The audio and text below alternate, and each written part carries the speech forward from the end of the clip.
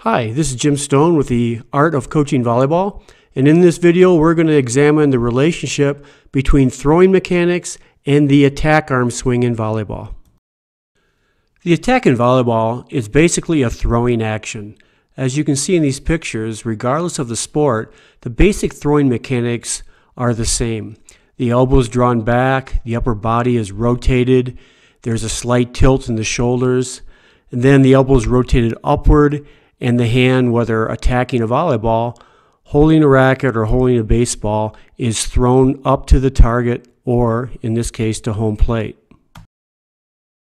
Look at these pictures of top volleyball attackers, and you can see how they put their upper body into a position to initiate the throwing motion. Notice the elbows back. There's a slight tilt in the shoulders, with their left shoulder being above their right. The left hand is up, having assisted in the jumping motion, and then as the throwing action proceeds, the left arm and hand will be drawn down to the body midline. So all the top attackers get themselves into this position. And we'll see how this compares with the positions that most attackers get at the younger levels. The body by default will tend to do what is easiest. So when the arms are used to assist in the jumping motion, the tendency is for both arms to be above the head as opposed to getting into position to initiate the throwing motion.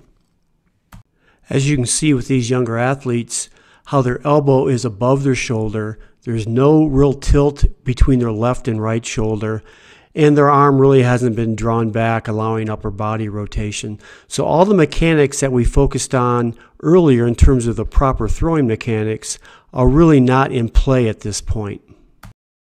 Notice in this sequence of attacks how the attackers use both arms to jump, but as soon as the right hand gets to approximately shoulder height, it's drawn back to initiate the throwing action.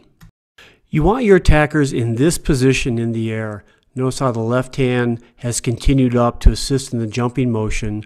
The right arm is back, and look at the tilt in the shoulders where the left shoulder and right shoulder are not aligned. We want this to be there to be an angle there, very similar to hitting an overhead clear in badminton. The throwing mechanics are the same in all these sports, and the challenge is to get your athletes into this position.